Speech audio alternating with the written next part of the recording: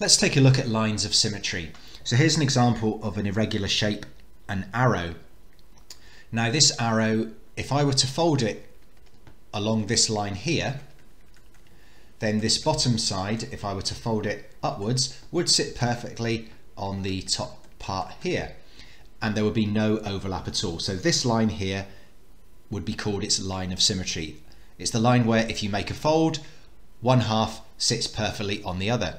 If I were to make a fold down the middle, this is not a line of symmetry because this rectangular part on the left hand side will not sit perfectly on the right hand side with no overlap because these pointy triangle bits would, uh, would overlap. So this arrow only has one line of symmetry and that is that horizontal line there. A square has a line of symmetry going vertically and also one going horizontally and it also has a line of symmetry going across the two diagonals. So in total a square has four lines of symmetry. A rectangle we can fold it down the center like so and we can uh, we can fold it horizontally as well so it has two lines of symmetry. Unfortunately if you try to fold diagonally and try and get this corner into that corner, it won't work. And if it doesn't make sense to you, just give it a go. See if you can fold a rectangle and, and fold it across the diagonal and see if you can get the corners to match up. Uh, it just won't happen. So a rectangle only has two lines of symmetry. For a pentagon or a regular pentagon, it has five lines of symmetry. It has one going down the middle, it also has one down here. In fact, this is practically this is the same line of symmetry basically. If we imagined that if we were to rotate this um, sort of one fifth of the way around so that this point is now here, then you know it's an identical line of symmetry. So we've got another one here as well. So that's the third.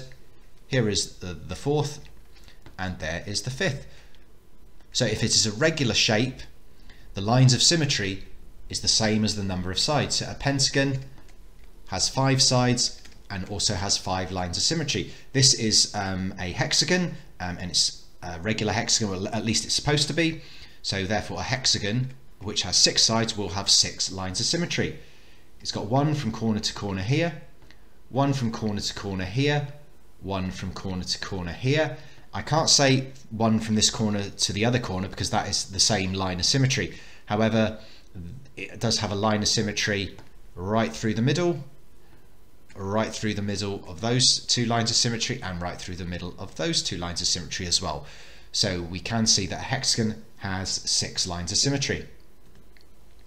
For completely irregular shapes, then sometimes there are no lines of symmetry. This uh, thunderbolt, there's no way I can fold this in, there's, there's no way I can fold it down the center or in any direction. It's just impossible for me to fold it so that one half sits perfectly on the other. Same with this arrow.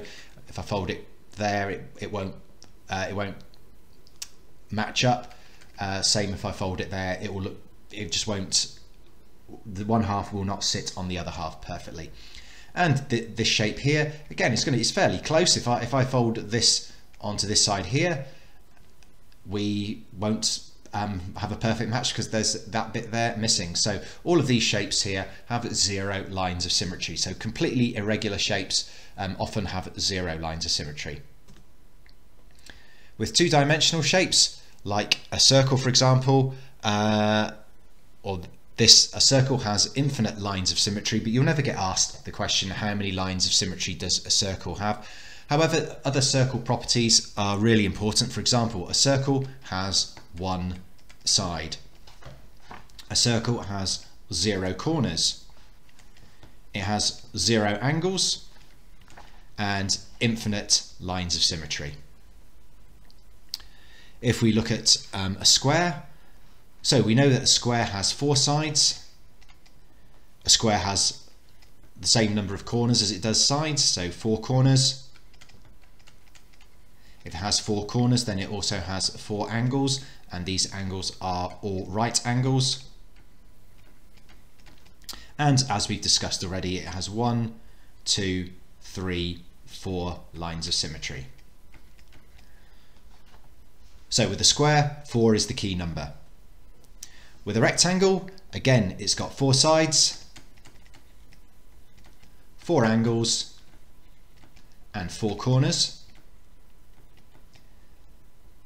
The lines of symmetry are not quite the same. It only has one, two lines of symmetry because the diagonals don't work.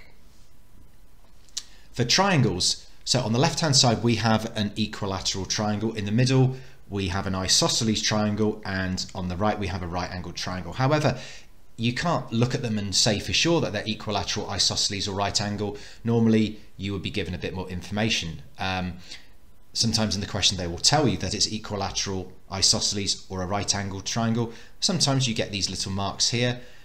These dots, uh, these dashes here tell us that these three sides are the same. And when a triangle has three side lengths the same, then it is an equilateral triangle.